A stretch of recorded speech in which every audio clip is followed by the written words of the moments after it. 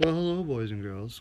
It's when I feel like at o'clock, and we haven't been together for a long, long time. I tried my hand at some game takes, uh, uh, game takes app, and uh, didn't. It was an American uh, app, and uh, they didn't take well to hockey, which is really weird. So I'm back onto the YouTube again. Um, my name is my NHL. My my name is Pearl of Wisdom, and you're listening to my NHL Pearls of Wisdom. As you can see, I'm just using my phone. I'm a little disheveled right now. Um, I'm waiting for the massage girls to come for uh, my first uh, massage of the day, but um, I woke up to find out that Joel Quenneville has been fired. Um, to me, that is absolutely insane. Um, Joel Quenneville probably top three, four, maybe four coaches in the league right now, or ever, as far as this generation or since he started coaching. You've got uh, Babcock, Trotz, um, and probably Q. Uh, you got guys coming up, or Gallant. You could put Gallant in there, but he's got a lot to prove yet. Um, I think Travis Green in Vancouver is probably going to reach these levels. But besides that, uh, you know, Maurice is probably uh, just a little bit below.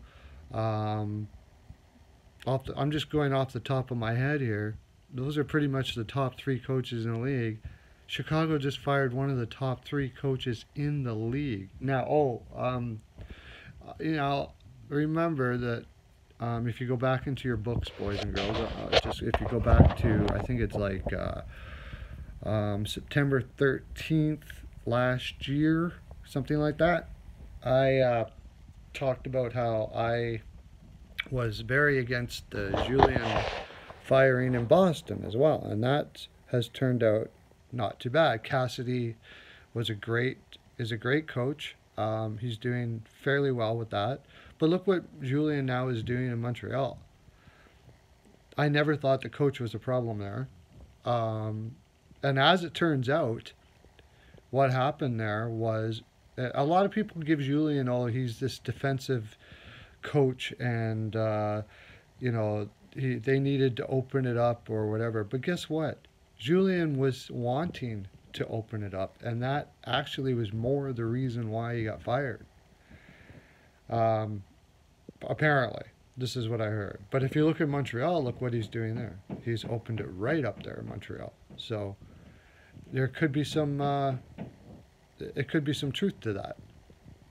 But as far as Quenneville is concerned, now you are looking. I mean, half the league right now, at least half. And like I said, I just opened my eyes and started doing this video, so I don't have any. I can't go, but off the top of my head, uh, LA's probably kicking themselves that they that you know they brought in an intern. Although I think De, Willie Desjardins, I wanted, didn't want to, I wanted to do a video on that. He did much better in Vancouver than he was than. But if you've got Green on the back burner, I guess I can see why you fire Willie Desjardins. But um, he could he could make he could make a, a go of it there in LA. But are you going to go with Willie Desjardins if Q is available? I mean, just before he gets fired, you do what you do. And now you can't flip flop on Desjardins, can you? I don't think so.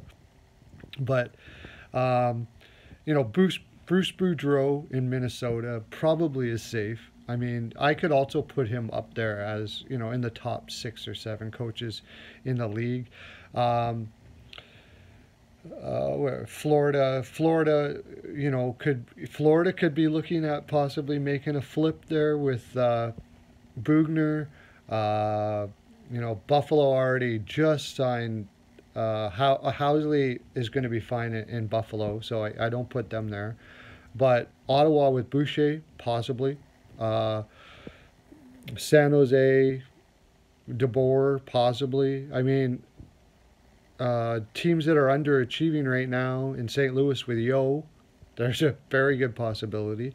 Although I think Yeo's a good coach, it has nothing to do with coaching there. It has to do with really bad goaltending, um, which I just did a, a pod on that not too long ago. Great coaches can make goaltenders better, But good coaches are killed by bad goaltending. And that's what you're seeing in, like, there's another one, Philadelphia. Philadelphia you could say, um, Hakstol, okay, let's let's bring in Q. I mean, I would honestly. Uh, not that there's anything really horrible about Hakstol, but I mean, if you can have Q, jeez.